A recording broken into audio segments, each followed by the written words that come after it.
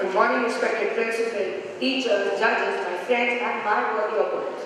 Today I, Siddharth Basisal Doctor, standing here in front of you to debate on the topic, children wasting their time on Netflix? Yes, and I'm thankful for the motion.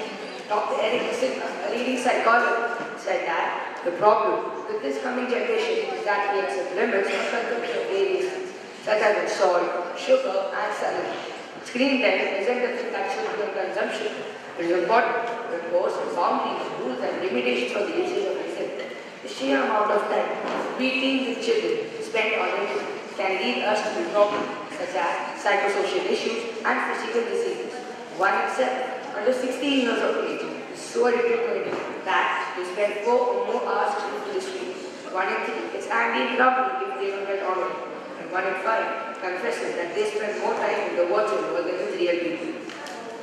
The growing use of smartphones, tablets, iPhones, computers means banning screen time has become modern equivalent of grounding children to the one-third percent of parents who impose boundaries and limitations for the usage of internet to their children.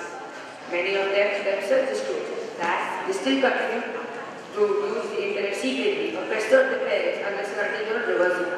But this number of children are wasting their time on internet and I feel that the practitioners are better than those who are it.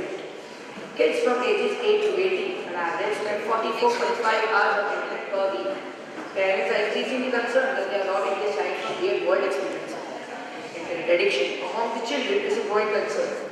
Getting online is a vital part of our modern world. Internet is an informative and entertaining medium, this what qualities make it an easy escape for many children. Now, the thing which I am going to tell you is a study work, is that children are suffering from a disease of self-esteem, known as selfitis, a mental disorder termed by American Psychiatric Association.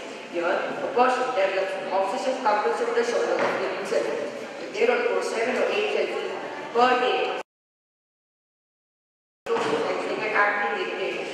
Now, because of the usage of the internet, children are losing the time.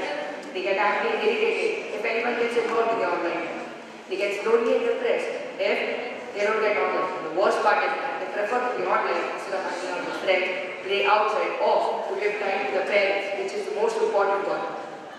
So friends, I like to end my speech by concluding that children are wasting their time on the internet. And, and I hope by hearing my speech you decrease the time of the which you utilize for it as there are many negative circumstances by using it. Thank you.